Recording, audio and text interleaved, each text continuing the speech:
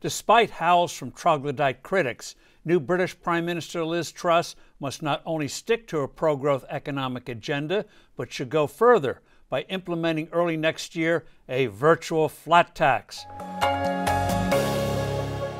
Hello, I'm Steve Forbes, and this is What's Ahead, where you get the insights you need to better navigate these turbulent times.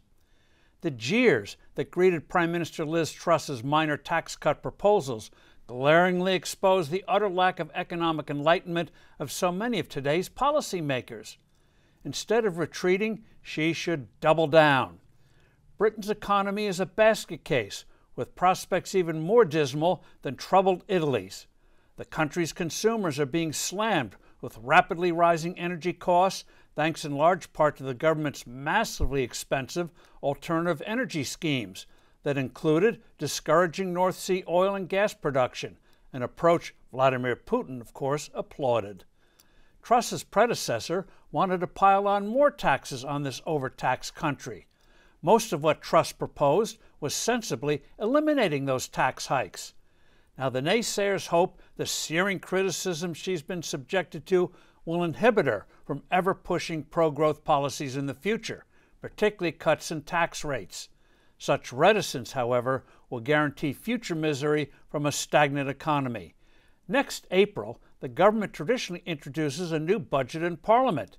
The occasion is treated with considerable fanfare over there.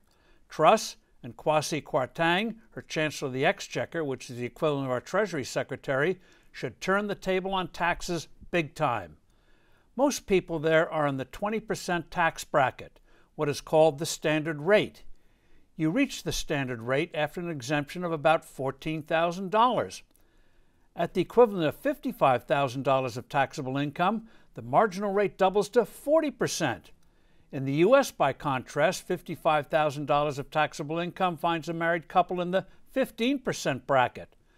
While a number of nations have enacted the single rate flat tax with success, such a change in the current environment in Britain is impossible. So Truss and Kwarteng should do the next best thing. They're already cutting the 20% to 19% of the standard rate. They should also, however, double or triple the bracket to, say, $165,000. In addition, they should also make it clear that that ban will be substantially expanded in future years. This way, they can get a flat tax in all but name. Truss and Kwarteng understand what all too many economists have forgotten, if indeed they ever knew it, the taxes are price. The tax on income is the price you pay for working. Tax on capital gains, the price you pay for the risks that work out. The tax on profits, the price you pay for success. If you lower the price of those good things, you'll get more of them. Raise the price, you'll get less of them. So simple. Hundreds of years of experience prove this repeatedly, time and time again. Yet sadly, it is ignored time and time again. For a while, the government of Truss and Kwarteng will be alone, but events, unfortunately hard events, will give them more and more company, including eventually the United States. I'm Steve Forbes. Thanks for listening. Do send in your comments and suggestions. I look forward to being with you soon again.